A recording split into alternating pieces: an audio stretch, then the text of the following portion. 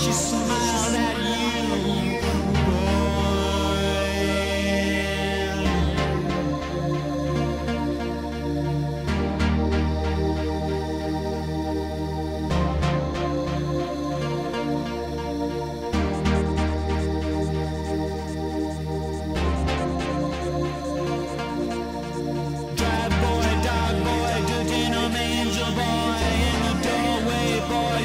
a lipstick boy. She was a beautiful boy.